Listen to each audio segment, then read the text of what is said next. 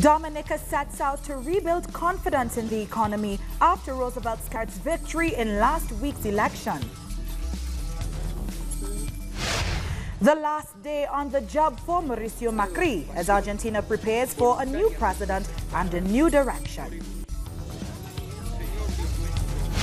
And five people are dead and at least eight remain missing after a volcano erupted on a tourist island in New Zealand. From the headquarters of Telesur English in Quito, Ecuador, this is From the South. I am Doris Polo.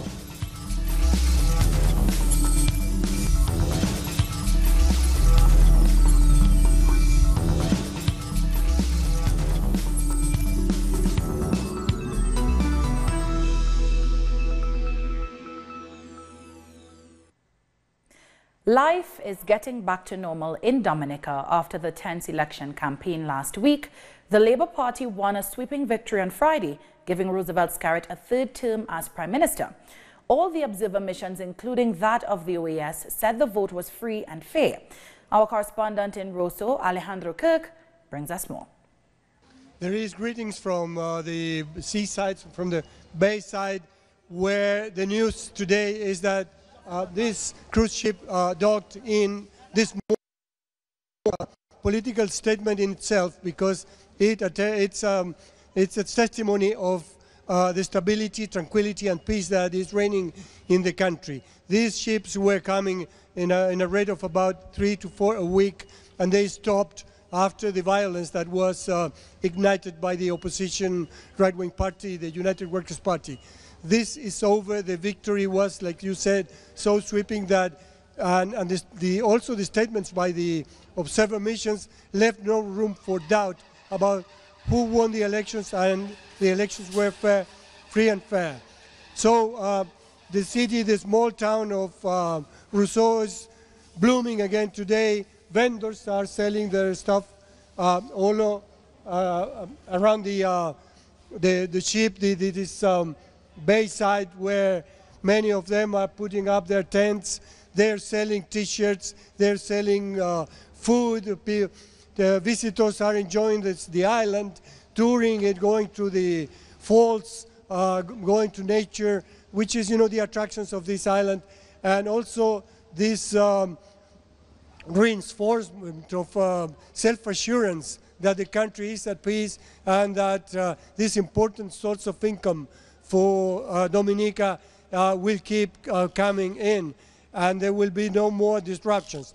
That is at least the hope that we have for now.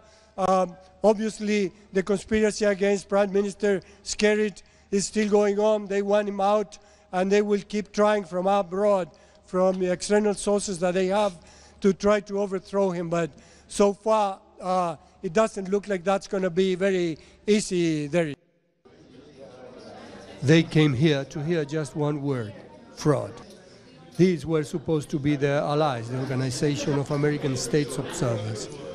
Behind all this, there was the vivid memory of Bolivia, where a lightning coup of state was based exclusively on an OAS preliminary report.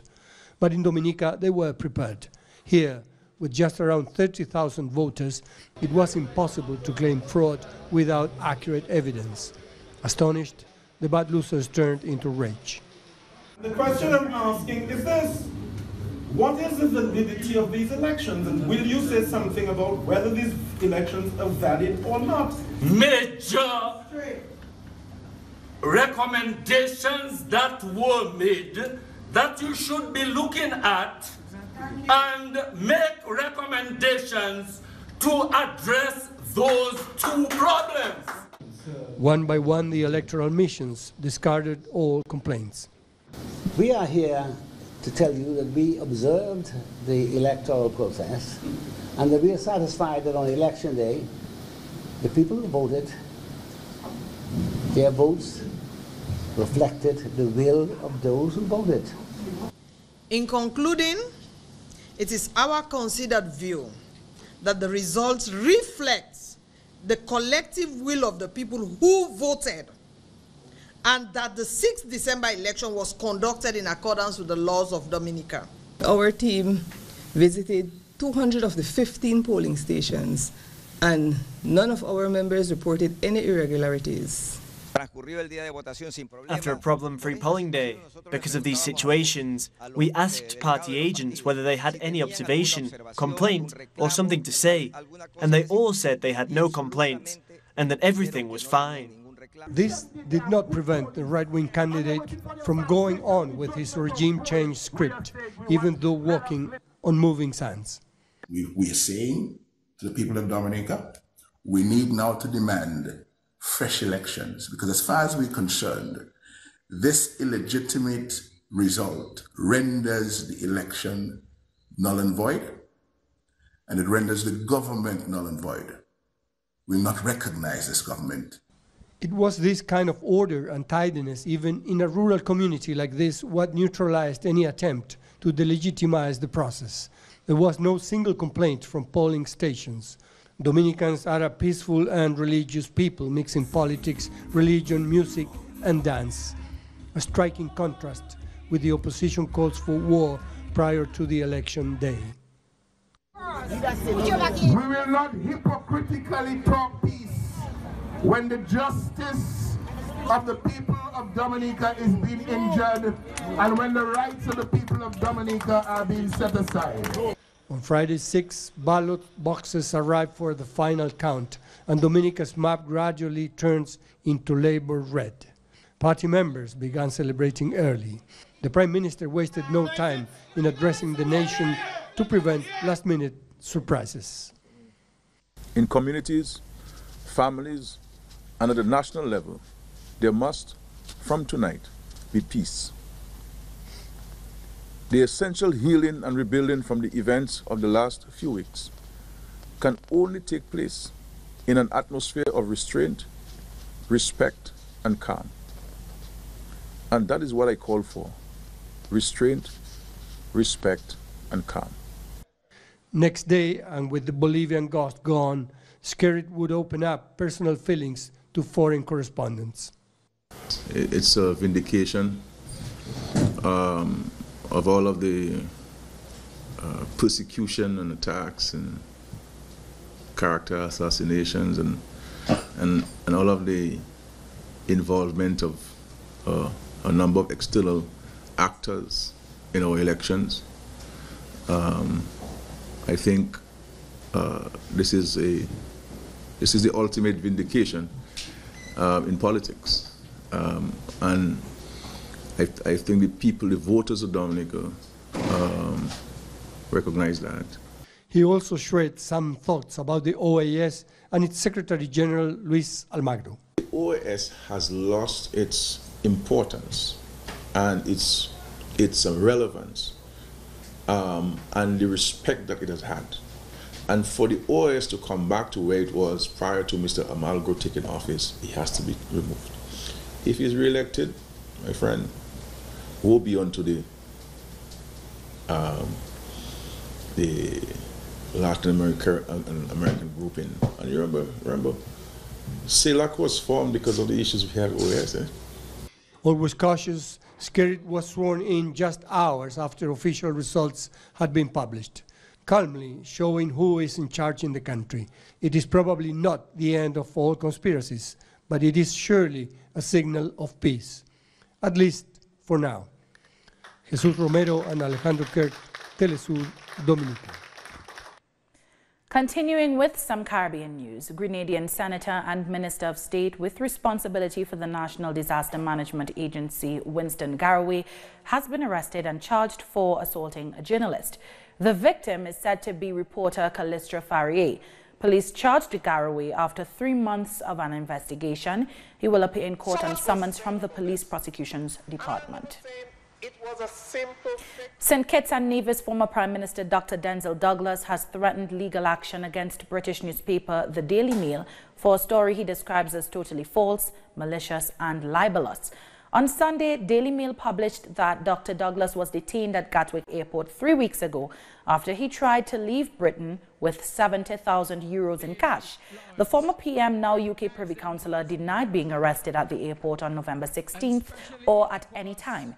He said the article is receiving the attention of his lawyers and accused St. Kitts Prime Minister Dr. Timothy Harris of peddling the falsehood.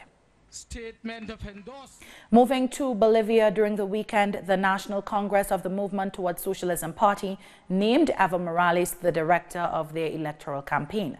The Congress resolved the or to maintain unity among the social movement members and leaders in order to organize the upcoming elections. The MAS is demanding that the Legislative Assembly begin a trial against Jeanine Añez in which ministers, the police and military will be probed for genocide and crimes against humanity. Monday is the last day in office for Argentina's outgoing president Mauricio Macri. On Tuesday, Alberto Fernandez and Cristina Fernandez will be sworn in as president and vice president. Edgardo Esteban reports. We're at the end of a cycle here in Argentina with the last day of President Mauricio Macri's government. He's not made any self-criticism in his final appearances, and that includes a 45-minute documentary shown yesterday in which Mauricio Macri presented the key moments of his presidency, but it didn't acknowledge the profound crisis in which he leaves Argentina. One symbolic sign of the change can be seen here in the Plaza de Mayo. They've taken down the barriers that separated the square, where the mothers of the disappeared, for example, always marched, from the presidential palace behind. So today, it becomes once again a square for all the people. And this shows the expectations here for the swearing in of Alberto Fernandez, which will take place tomorrow at 11 a.m. in the Congress. After that, at 6 o'clock in the evening, there will be a party for the people here in the square with both Alberto Fernandez and Cristina Fernandez de Kirchner taking part to celebrate the beginning of this progressive government, which is generating so many expectations amongst the people of Argentina. We'll take a short break now. When we come back, news on Algerian youths protesting across the country. We'll have more on this after the break.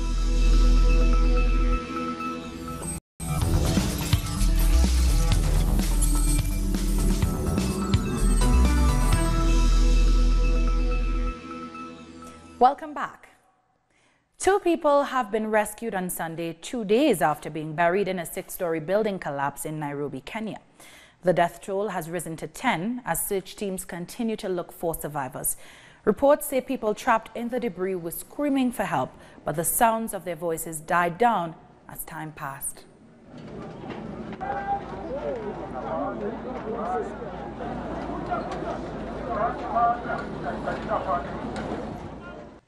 The governor of Nairobi, Mike Sonko, has appeared in court to answer corruption charges leveled against him. Sonko pleaded not guilty to over 30 charges of money laundering, receiving bribes, and conflict of interest.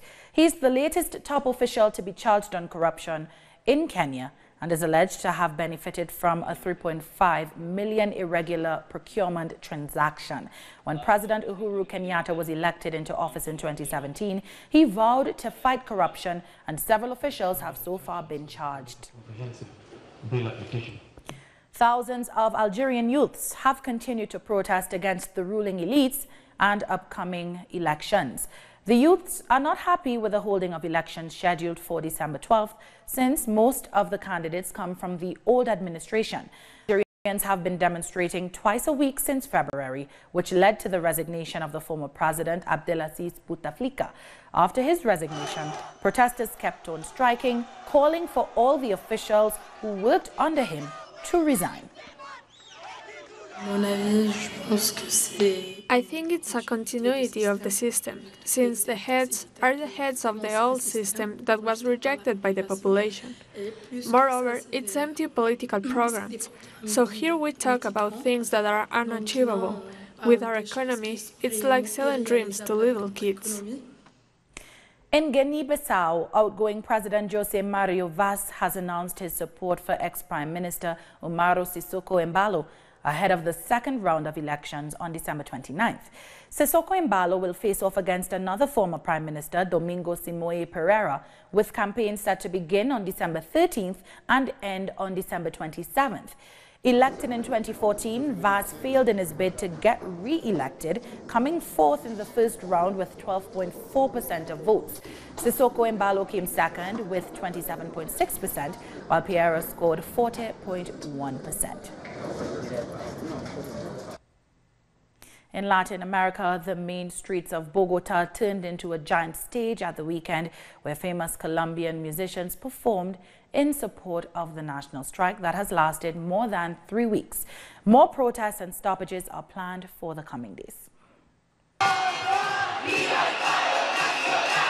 This is where people usually come to practice sports on Sundays. Now it's a stage for artists to protest.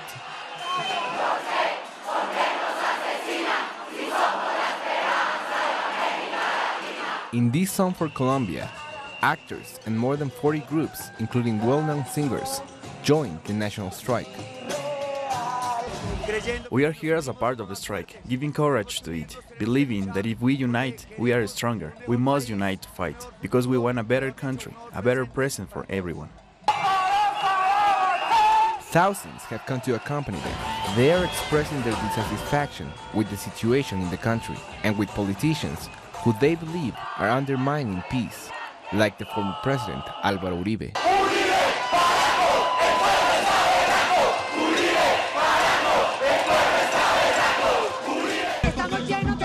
We have come together because we believe that we have many reasons to march. We believe that the protest is just because it is not a matter of the right or left, or of political parties. We are here for dignity, because we believe that people have to be heard.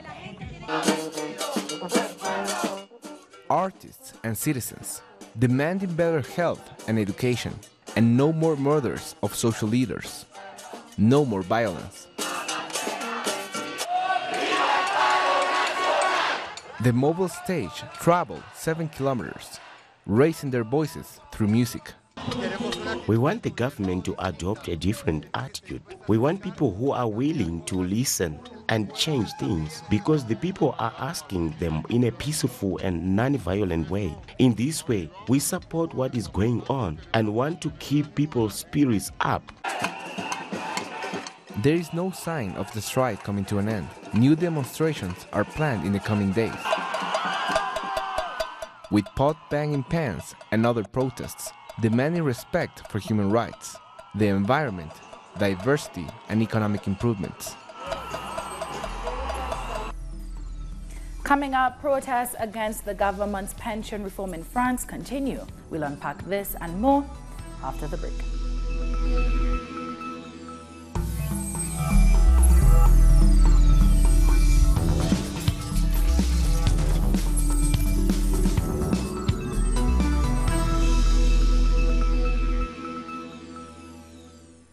Welcome back. The French High Commissioner for Pensions held a final meeting with some union leaders, hoping to end the transport strike currently gripping the nation.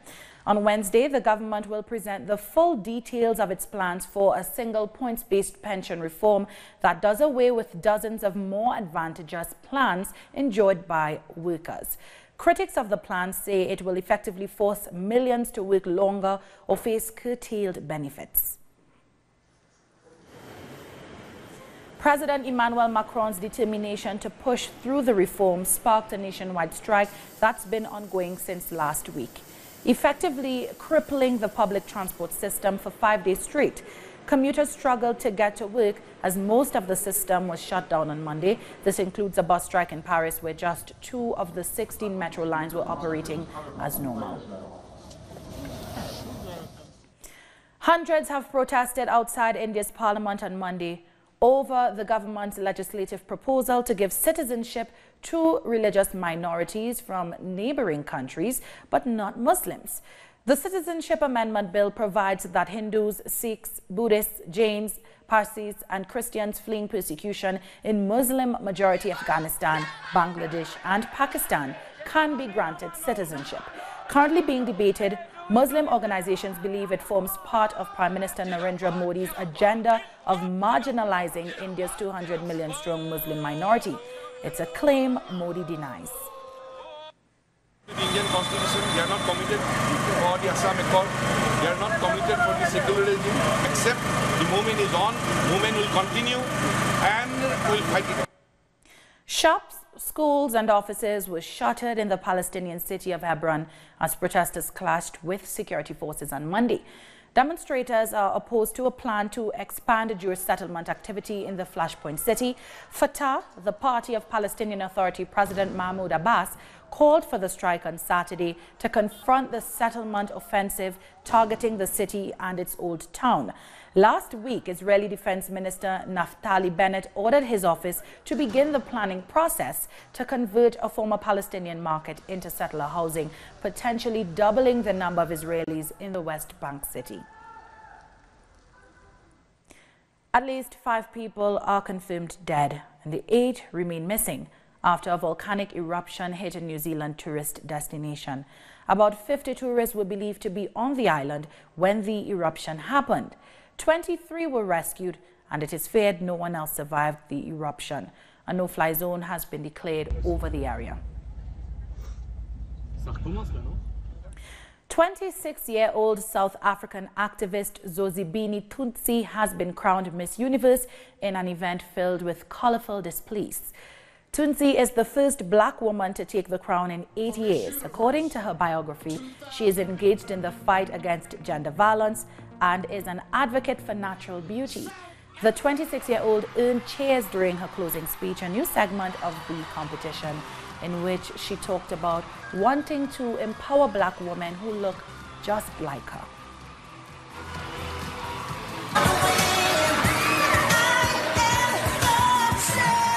I grew up in a world where a woman who looks like me, with my kind of skin and my kind of hair, was never considered to be beautiful.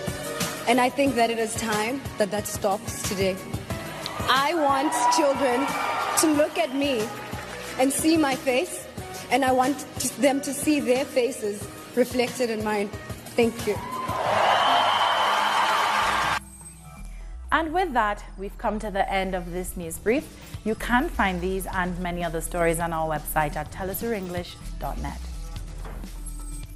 And join us on social media, Facebook, Twitter, and Instagram. For Telesur English, I'm Doris Polo. Thank you so much for watching.